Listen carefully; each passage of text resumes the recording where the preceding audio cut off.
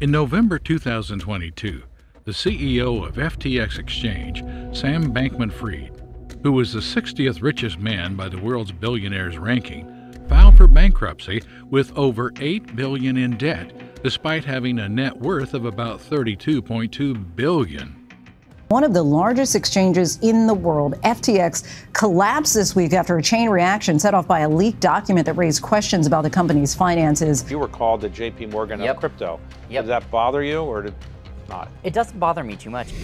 It poses a great concern as to how the quest for wealth has been a global objective, but unfortunately, only some have achieved this goal, and only a few have been able to keep it. Go Banking Rate survey discovered that over 14 million Americans have over $10,000 in credit card debt. But when is our continuous pursuit of money going to be enough? It raises a serious concern about the nature of money.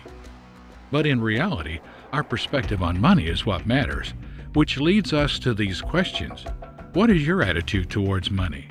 Is it difficult for it to stay within your reach? What do you do to attain it? While this channel is dedicated to answering these questions and tackling topics pertaining to financial literacy, I realize that our perception of money is more important than our ability to make it. What is money?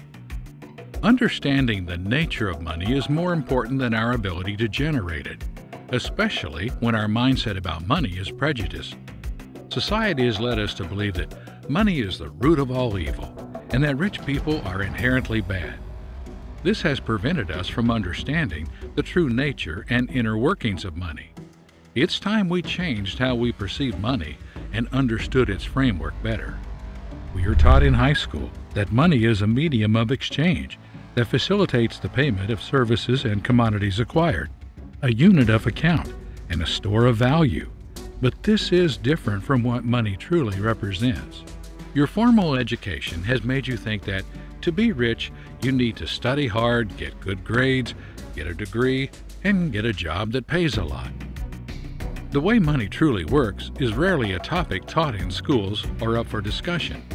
Many students leave school without a proper understanding of personal finances, business, and investments.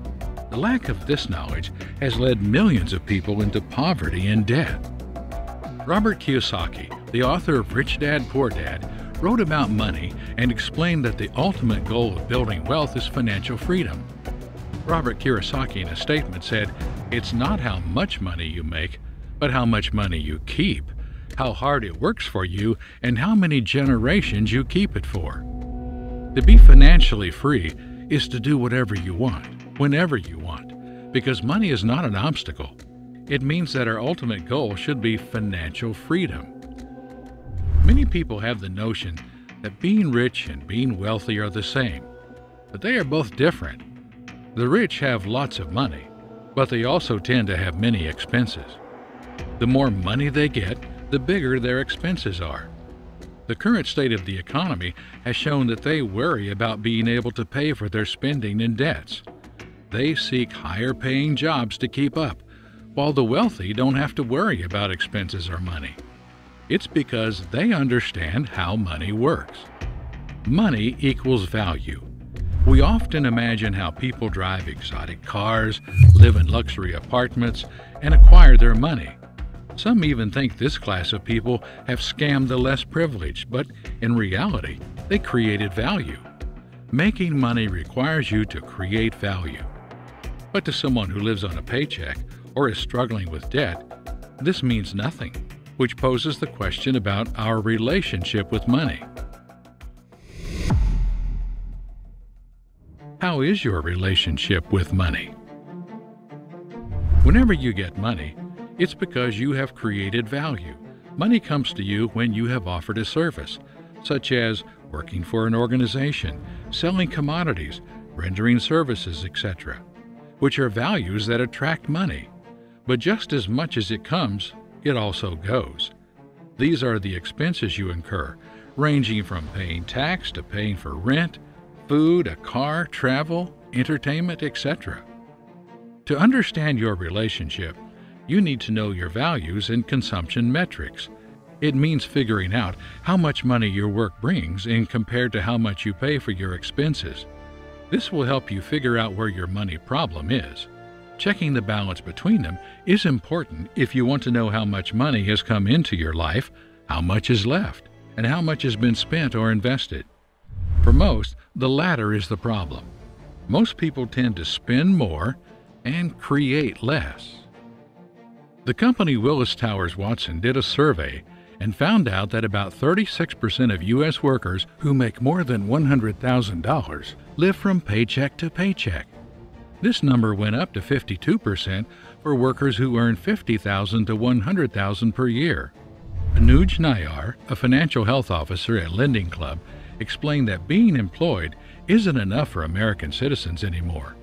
Wage growth has been less, leaving many consumers with little to hold on to after managing monthly expenses. He also said that consumers are not able to keep up with the pace that inflation is increasing. Although those earning more than 100,000 will also seek to make more, regardless, if your spending is way more than your income, you need to rethink and try to find a solution because your relation with money is abnormal. What is the rat race exactly? Do you constantly see yourself working but not making the financial progress you desire? Or are you among the large population of people who live their everyday lives on a paycheck, waiting for the next one? Rat race is a pointless, unpleasant, and self defeating pursuit to achieve success.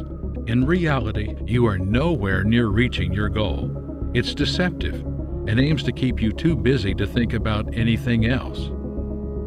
You are struggling to get a better job than your current one, trying to improve your career, and being in constant fear because you know that when money enters your hand, it goes away instantly due to increased responsibilities, stretching your financial life thin.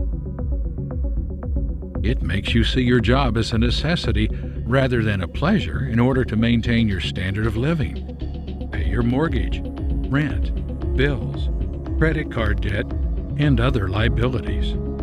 That's the actual rat race. Many think increasing their income by seeking high paying jobs or careers can redeem them from the rat race. But this mindset is flawed. The truth is, the more you earn, the more you burn, which brings you back to where you started. This brings us to the next question How to escape the rat race? There is a simple answer to this complex question financial literacy. To achieve your freedom, you need to change your mindset about your relationship with money. To start, you must balance your value creation, income, with your consumption, expenses. Saving more and spending less is the key. This can be done by creating a budget and sticking firmly to it. Try to minimize your consumption and live within your means. It means that you should prioritize your life over your lifestyle. You should spend money on essential things. But why buy extra shoes, clothes, gadgets, etc., when you know you can save that money and invest in other financial areas? I know that this is easier said than done, but boy, do I have a trick for you. Assume you are considering purchasing an extra pair of those $150 sneakers. Now, instead of measuring the value of your purchase in currency, measure its value in time. If you're making $25 an hour, the value of your purchase will be six hours. With this trick, you can make a better decision on the purchase. It would be extremely beneficial if you could limit the social influence over you. Be content. You don't need to spend money on commodities or services simply because others are doing so, especially when you know it's not currently essential for you. Build your wealth by investing in assets, real estate, or starting a business. The key message here is to create assets, not liabilities. Increasing your income streams and reducing expenses is vital to your financial success. Finally, Jeff Bezos, Bill Gates, Mark Zuckerberg, and other well known entrepreneurs today increase their value creation by discovering a problem and creating a solution to it. Increase your value creation, and skyrocket your income. You need to find a problem and offer a solution to it. This is an entrepreneurial mindset. I know what you might be thinking.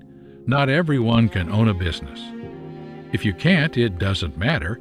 Instead, you should focus on your abilities or skill building, which can be productive in creating a solution. The goal is to create value. The most essential piece of advice for escaping the rat race is to persevere.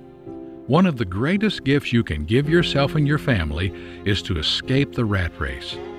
However, this requires a large number of small, consistent actions over time. Always prioritize progress over perfection. Any progress, no matter how small, is progress nonetheless.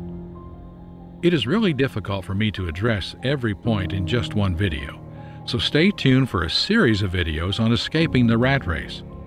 I'll share real life stories of people who have done it and how they did it.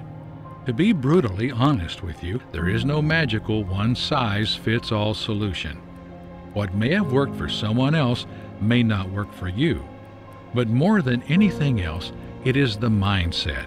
And if you have stuck with this video so far, that is proof you're ready for change. At the end, if you like this video, please subscribe to the channel like this video, and let us know what topic you would like to watch next.